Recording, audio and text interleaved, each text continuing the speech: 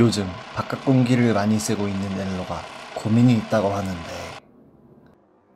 하이 엘로. 나는 엘로다에 요즘 내가 고민이 있다에 최근에 외출이 많아지는데 모든 사람들이 SNS를 하고 있다에 엘로도 SNS 사진을 예쁘게 찍어서 올리고 싶다해.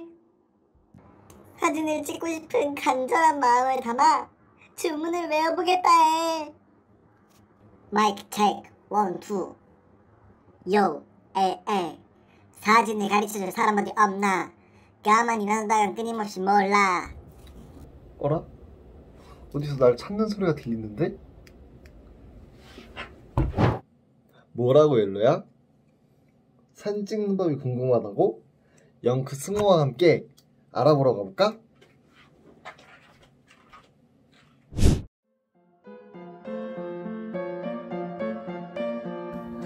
사진을 찍으러 도심 속 숲인 서울숲에 도착했습니다.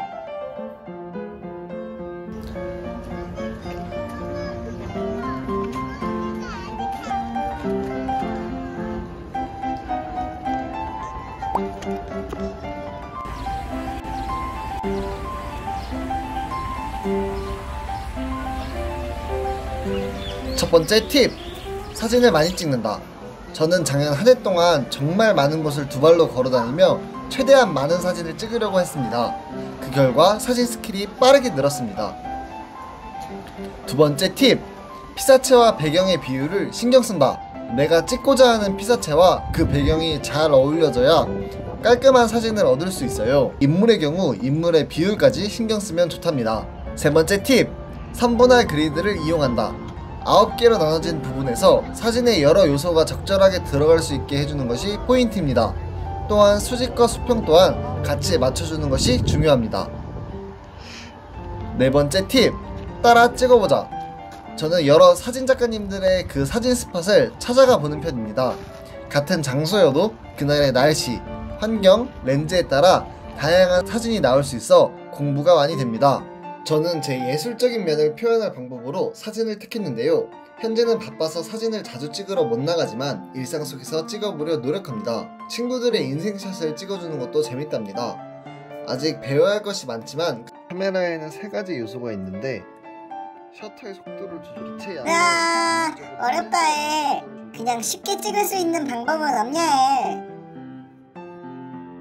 그래 그래 엘로야 비싼 카메라, 셔터 스피드, 조리개, ISO 다 몰라도 되고 요즘은 스마트폰 카메라가 좋아져서 SNS 업로드용으로 충분해.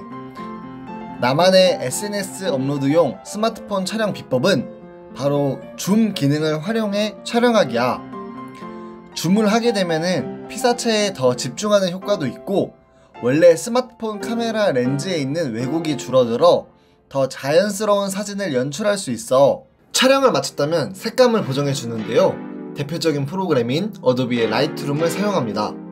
저 보정은 실제로도 2분이 채 걸리지 않을 정도로 빠르게 할 수 있게 실력이 많이 늘었는데요. 색감 보정은 찍은 사람 마음대로 하는 것이기 때문에 정답이 없다고 생각합니다.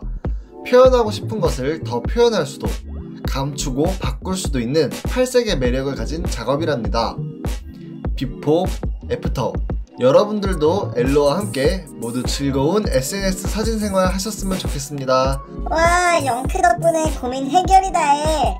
다음에도 또 부탁한다 해. 안녕.